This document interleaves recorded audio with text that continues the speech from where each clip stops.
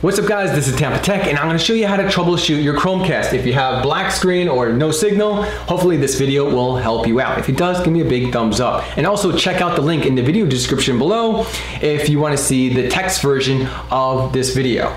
If you have a power surge or a power outage in your house, most likely you're gonna need to reset your Chromecast. Simply unplug the power cord for one minute and plug it back in. Unplug the USB power cord for one whole minute to reset the Chromecast, plug it back in, wait for it to boot up.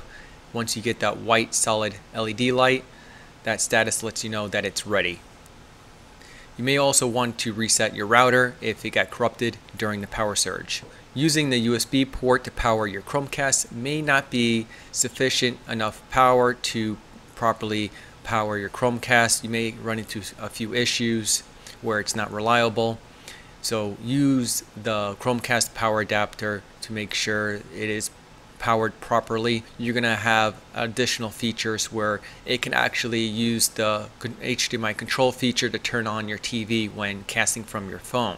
When it's plugged into the USB port on your TV, the Chromecast won't tell your TV to turn on because it needs an outside power source. Sometimes that USB uh, power is not always there when the TV is turned off.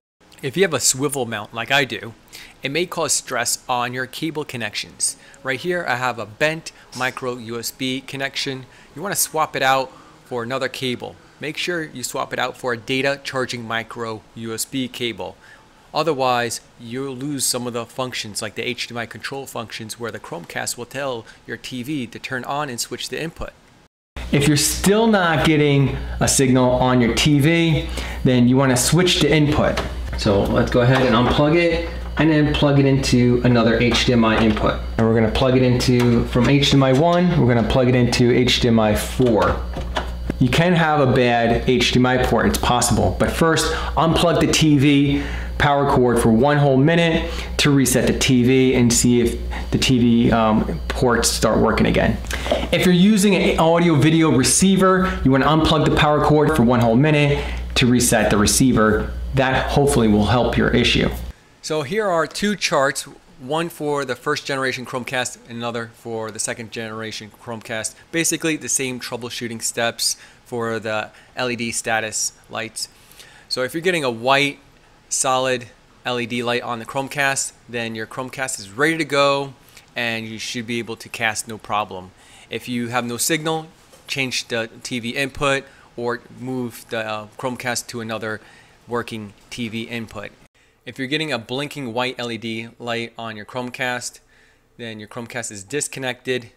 Use the setup wizard on the screen to set up your Chromecast. Make sure you have a working network and solid internet connection. If you're getting a pulsating red LED light on the first generation Chromecast or orange light on a second generation Chromecast, then you are receiving an update. Do not disconnect the power the update should be completed in a few minutes, then you should be ready to go.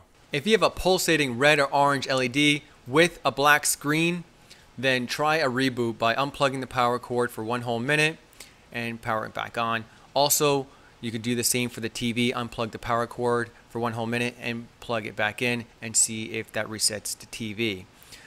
You could also try using the HDMI extender provided by the Chromecast device and plug it into one of the HDMI ports. Or if that doesn't work, try plugging the Chromecast into another TV. If that does not work, then perform a factory reset by holding down the power button for one whole minute. If you have a solid red LED on the first generation Chromecast or a solid orange LED on the second generation Chromecast, there may be an error with your Chromecast. Simply unplug the power cord for one whole minute to reset the Chromecast. If that doesn't work, then hold down the power button on the Chromecast for one whole minute to factory reset the Chromecast. If this video was informative, give me a big thumbs up. If you want more how-to videos like this, subscribe to TampaTec. Click on the subscribe link right here or the subscribe button down below. And if you want more Google tutorials, check out this playlist link right here. And if you know anyone that this video will help, go ahead and click on the share button below and share this video to them. Help someone out. Thanks guys for watching.